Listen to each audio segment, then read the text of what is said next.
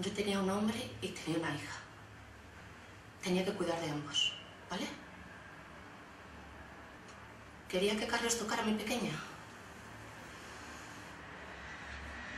Yo solo la acostaba a mi lado. La dejaba a mi lado sobre una almohada.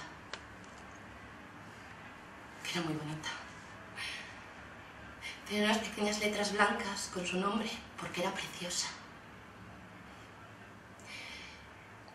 Dejé a mi hija sobre la almohada y Carlos se tumbó al otro lado.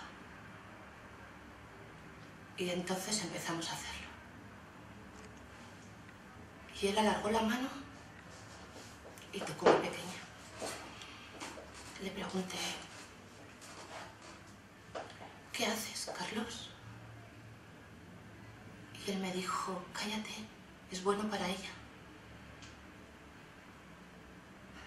Mi hombre. Era mi puto hombre. Y deseaba a mi hija. Por eso lo hacía.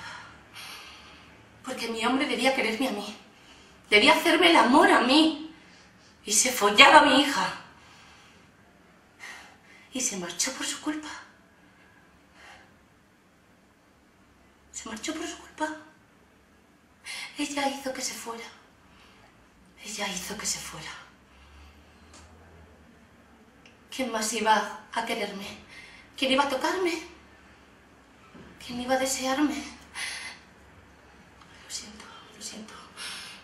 Yo no quería que le hiciera daño, no quería que le hiciera daño. Yo quería proteger a mi pequeña. Siempre le decía, ¿qué estás haciendo, Carlos? ¿Qué haces? ¿Qué haces?